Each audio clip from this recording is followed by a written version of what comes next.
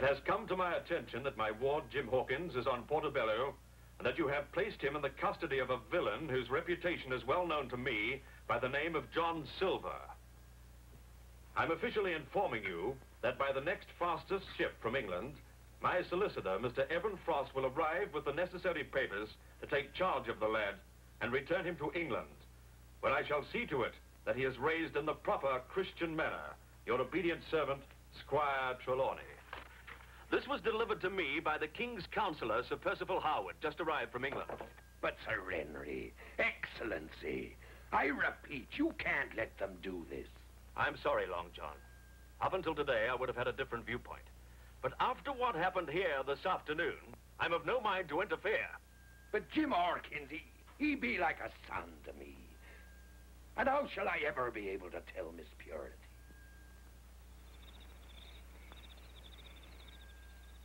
Oh, to bring such disgrace down upon us. How could you do it? To force a servant at Government House, where you're a guest, to walk the plank and almost drowned him in the lily pond. He wasn't supposed to fall in. The plank broke. Shuttlecock, taffy, pulling, bowling. Of all the hundred and one things you could be doing, you had to be a pirate. We were only playing pirates. A fine time you chose. When you had a chance to show your good upbringing before young Algy, Sir Percival Harwood's son, you had to press him into your foul schemes. I heard he were almost hung. Well, I didn't do that. Are you trying to tell me he hung himself a guilty? I didn't do it. Then who did? Not me. It's the first time you ever done anything like this to me, Jim Hawkins. You told me a lie. It's the influence of that evil man. And when I lay my hands on that one-legged swab... I'm not buying Miss Purity. Don't make it worse. Now you'll stay in your room with naught but bread and milk.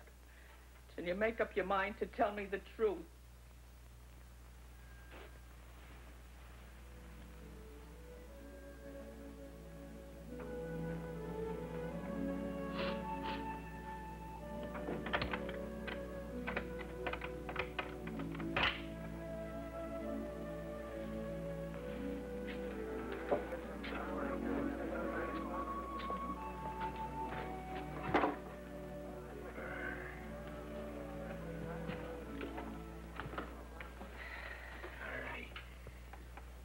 Suppose you've heard the terrible news. Aye. I've had me full of it this last hour. I never thought this would happen. I did. I told you it'd happen. What else could we have expected? You and your evil ways, caring not for law and order, ripping and cutting, and laying his hands to anything that belongs not to him. Where else could it end? Have you gone daft?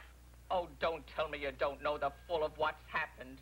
Jim, with your wrong upbringing, almost drowned a servant at Government House today. And what's more, nearly hung a lad of quality, Algy Harwood.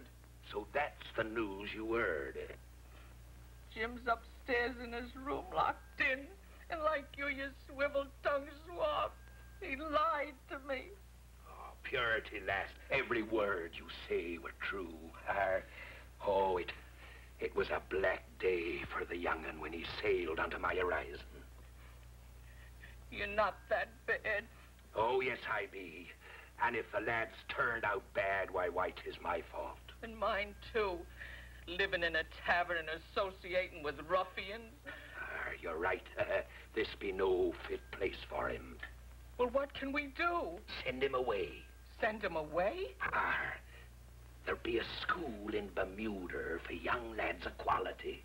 The Rose School. They've shipped out there from England a, a, a whole crew of tutors from, from Eton. the governor, he was telling me that Sir Percival Harwood be sending his son Algy there tomorrow on the inter-island packet. But Bermuda, that's so far away. Well, that's just what he needs. Oh, I couldn't let him go. Ah, but Dick beaver is good. Oh, it'd break my heart. Ah, and mine too. Well- but 'tis the right thing to do. Well, maybe we could think it over a little, huh? No, no. Flint always said the white hot iron don't hurt so bad if 'tis laid on fast. The packet sails aboard. Oh, Long John. Ah, but it's only fair we should tell him now.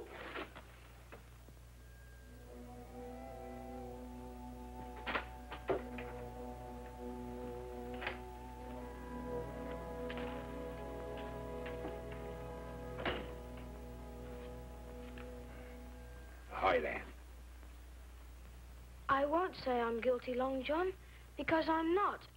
See? Now, Purity, remember Flint's words. We are planning a new life for you, Jim. We be here to pack your belongings.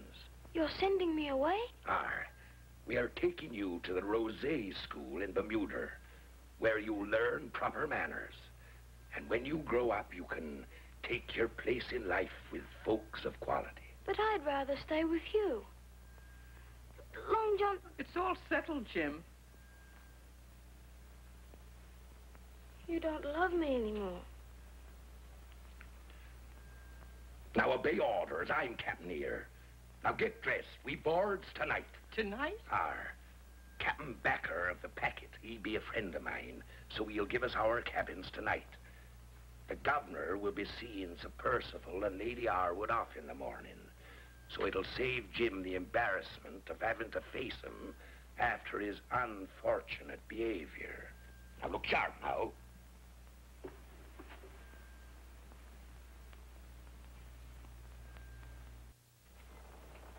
Uh, uh, uh, sit down there. Hello. Hello. I hope the victuals are good aboard your ship, Captain. I think you'll find the food quite satisfactory. Feeling faint, dearie? It is a little close in here. Uh, uh, uh, but I, I've gotten on. Oh.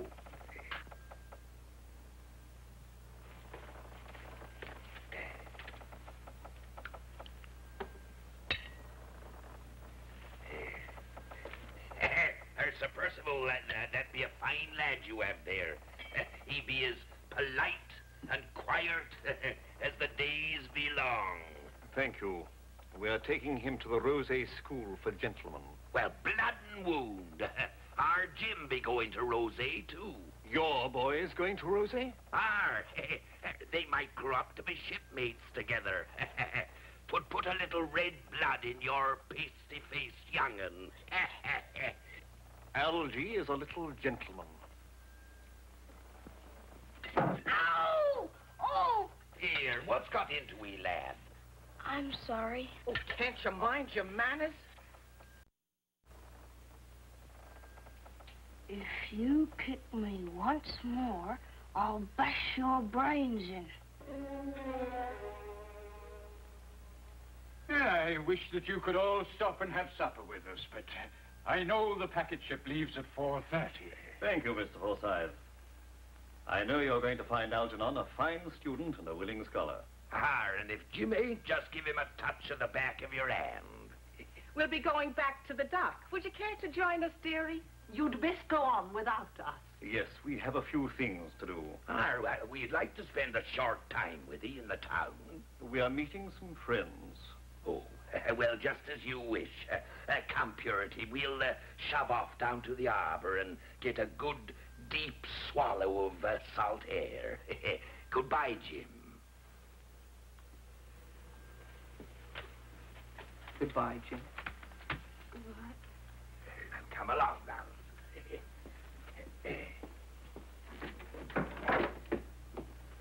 now, uh, don't forget to lay it into the lads and stuff their heads full of learning. Ha ha, ha ha. Off we go now. Bye-bye.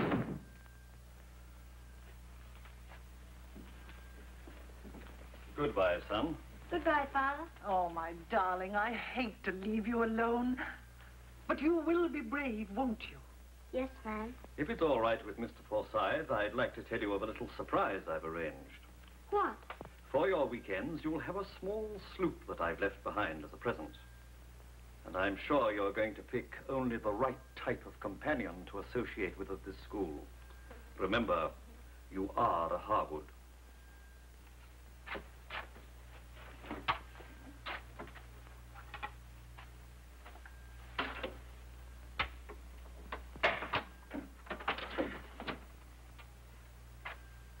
thought you were down the hall. I was, until I got my hands on the assignment list.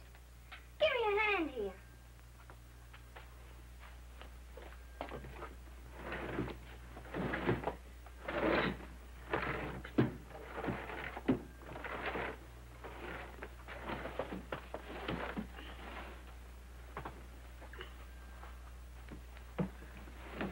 Don't scratch your clock.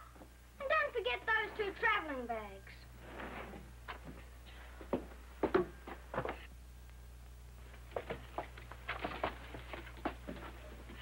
Who were those two horrible people you were with?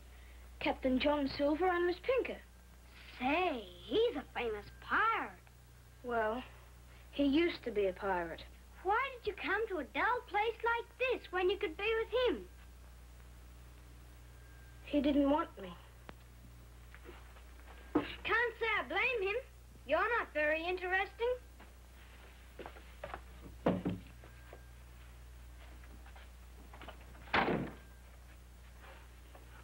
Stop running in and out of the room. You're making me dizzy. Sit down so we can talk.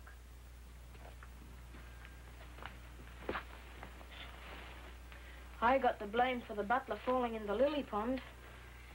What did you expect? That's the way I fixed it. But I thought you'd speak up. You are a child. You mean you didn't tell on me? There's nothing lower than informing on people.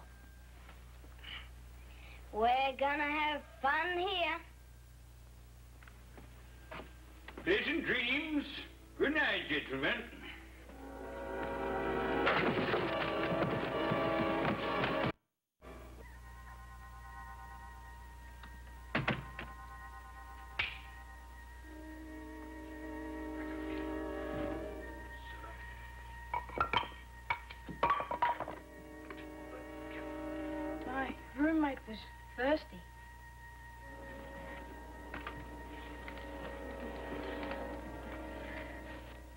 25.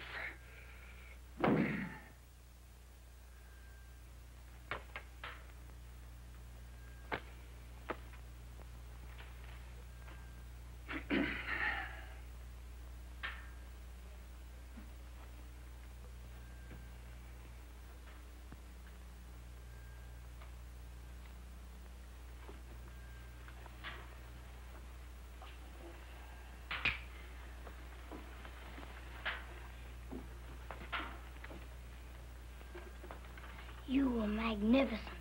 I wouldn't have taken it for you.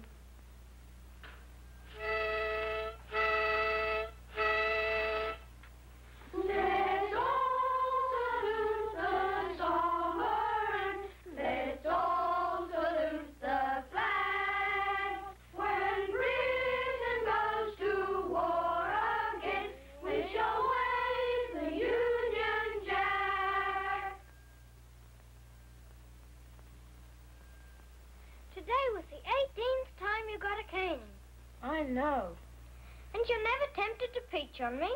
I'm no informer. Extraordinary. Still, I suppose it would do you no good if you did. I'd just deny it, and then where would you be? Me being the Honourable Master Harwood, and you being what you are. Why don't you try it anyhow? No, thanks. When are you going to get really smart?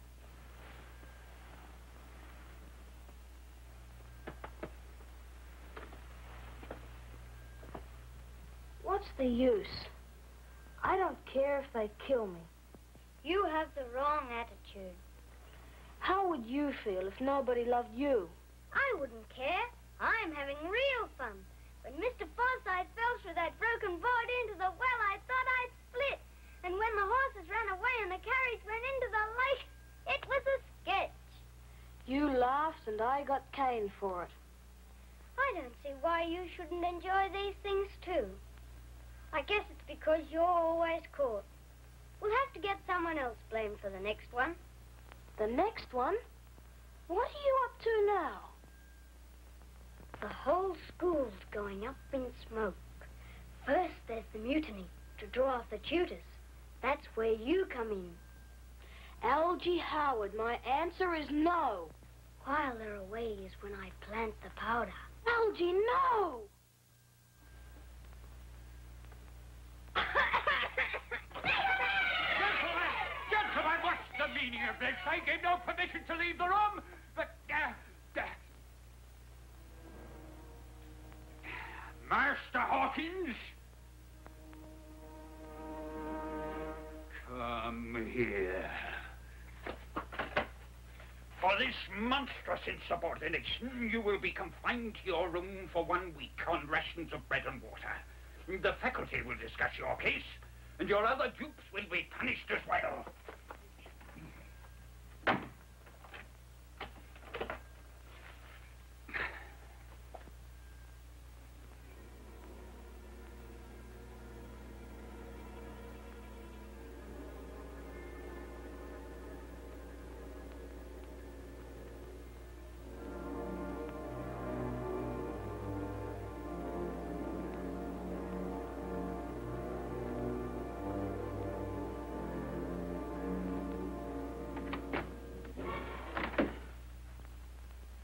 Master Harwood, I thought you were ill.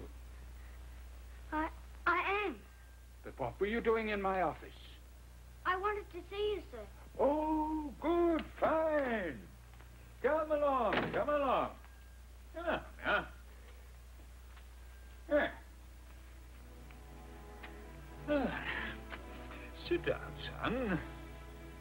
I, I've changed my mind. I'll be leaving. Oh, come, come, don't be shy. I'm really just one of you young gentlemen, you know. I've got to leave. What's frightening you, lad?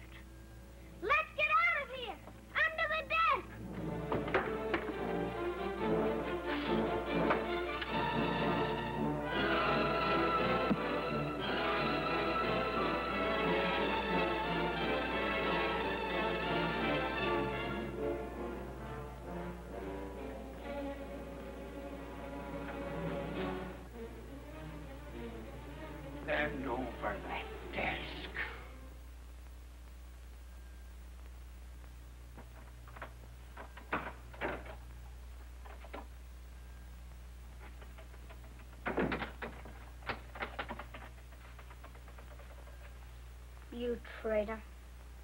How did you get in? I picked the lock. Sit down. I never heard the explosion. I did. I was caned. You were? Fifty strokes. That's not much. But to a Harwood.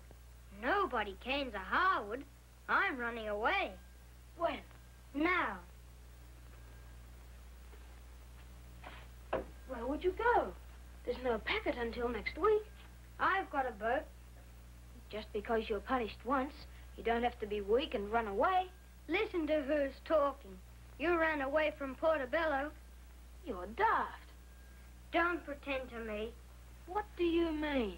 You ran away from Portobello to keep from being taken back to England. That's a lie. I read the letter from Squire Trelawney in my father's secret diplomatic pouch.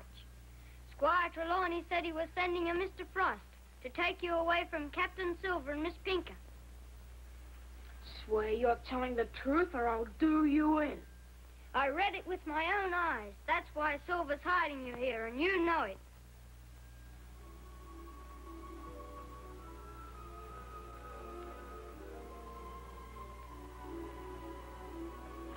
Algie, you can't run away alone. You don't know anything about sailing a ship. You have to know dead reckoning. I don't care. I'm going anyhow. I'm coming with you. They do love me. Except for stealing provisions, Algie wasn't much help. We sailed for seven days with only a few light squalls. Then, off to the horizon, I noticed the sky was blackening up. And as Long John used to say, the glass were falling.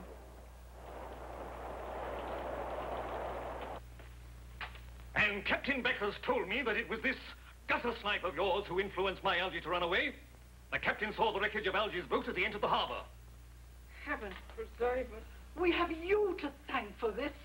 Our boy Algie is a good boy. I tell you, Silver, I'll see you hanged for this. The love you have for your son be no more than ours for Jim. Wreckage or no wreckage, our lad will make it. Long John be right. That's how I feel. What do you know about what it feels like to have a child out at sea? How could I ever explain it to someone like you? Now, you listen to me, you fine popinjay. Because you have the fine manners and the silks and satins, don't mean you love your boy any more than I love mine. Now, you hold your tongue and your whining for them that's at your beck and call, because I ain't. I'm sorry, Eloise. That common trash talking to you like that. No, Percival, I was wrong. We're both women, and our boys are in the same boat.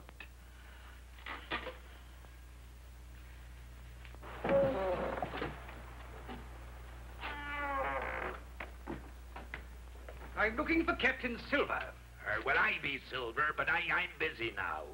I'm Evan Frost from England, and I demand the custody of Jim Hawkins. Why, you... you slimy squid. If it weren't for you, our little Jim would be here now. He's gone? Aye.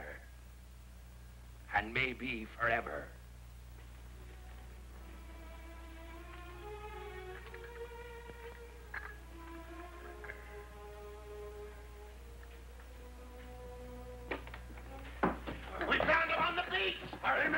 Made it! See all that water! Arthur! My poor baby, my poor baby. You were almost drowned. I ought to break your neck. How could you be stupid enough to let that boy talk you into running away?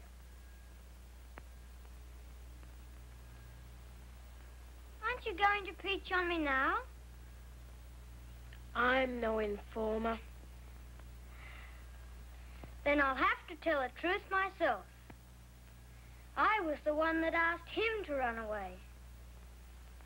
This is all very touching, but I have a duty to perform. We'll have our papers signed at Government House, and tomorrow there's a ship sailing for Bristol. No! No, no, you can't take him away! Your tears shall not swerve me one whit from my appointed task, madam. Mr. Frost, I am Portobello. I know that, sir, and I'm greatly honored to have made your acquaintance. I feel before I examine your extradition papers, I shall find them not in order. If pressed, your personal visa might be contested. And by the time it was righted, you would be quite unhappy. Why, uh, You've done it, Sir Percival. You've done it for fair. And as for you, you cringing bookworm, get your carcass out of this cabin. why, I, I, I... Get.